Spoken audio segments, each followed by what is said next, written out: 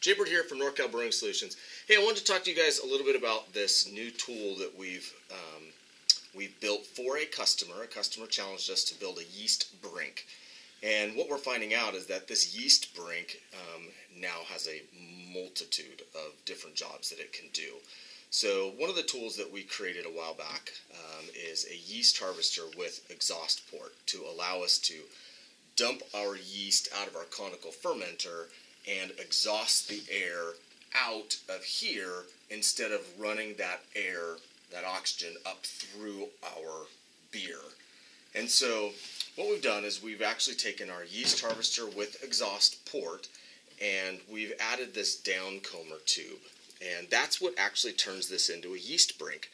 And if you're not aware, a yeast brink is a um, it's a vessel that you can use to collect and re-inoculate other wort in different conicals, different fermenters. Okay, so the way this works is this is for a half gallon yeast brink, and this goes down in here, and then you have the ring, and that just locks it on there like like so.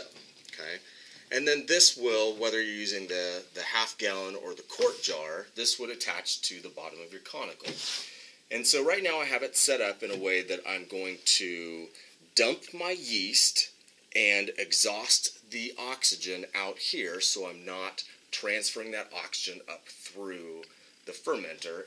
And so I'm going to have to do this really fast. So here we go. Okay. So now what would have transferred into here is our yeast from the bottom of our conical, okay? Now, let's say that we have another conical and we want to go ahead and transfer that yeast and re-inoculate another conical, we would just simply take this off and attach it to our new conical that has our wort in it. We would remove our exhaust port here. And then all we need to do is just add our CO2 to here okay? And while we're doing this, I'm only going to be running this at about three pounds. And I've filled this conical completely up so we have 15 gallons of head pressure um, pushing down just because this is the way that we would be using this. And then all I'm going to do is just turn this on. I've got my, um, my regulator set at about three to five pounds. And I'm just going to go ahead and turn that on.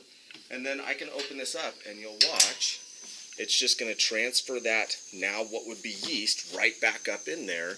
And we're doing that under CO2 pressure, not oxygen. So we're not opening up our vessel. We're not um, bringing in contaminants. Now what I'm going to do is I'm going to show you how we dry hop using this yeast brink.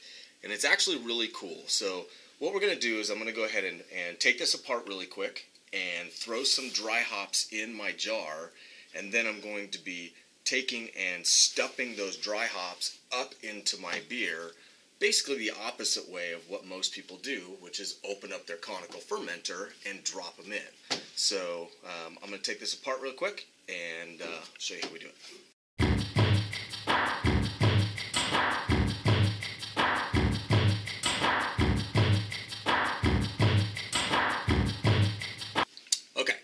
So now what we're going to do, we've got our dry hops down in our yeast brink, and I'm going to go ahead and add beer down into my yeast brink.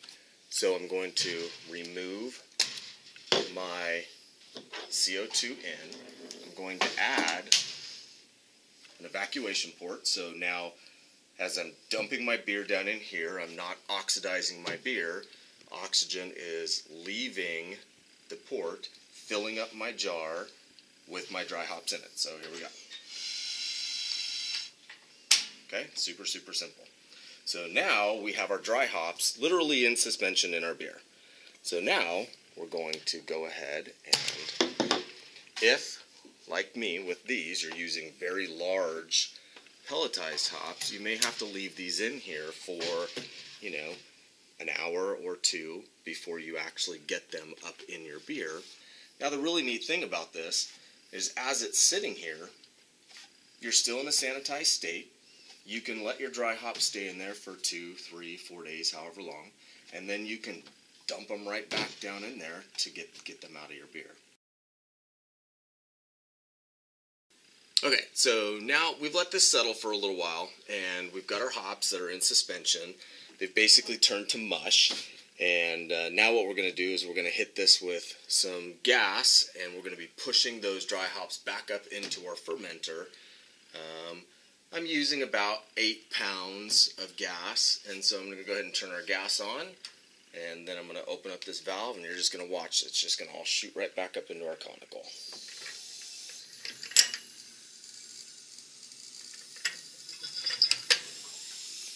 just like that. And if you have a little bit left in there, um, you know, you can dump a little bit more out, shove them right back up in there, mix them up. The great thing about doing that is every time you do that, you are pushing CO2 back up through your beer and you're um, helping evacuate that oxygen that's in there. So there you have it. That's our yeast brink that we have found that we can use for dry hopping um, we can use for evacuating carbon dioxide or evacuating oxygen out of our fermenters, yeast collection, yeast harvesting. It's actually become a very killer universal tool. So hope that helps. Uh, cheers.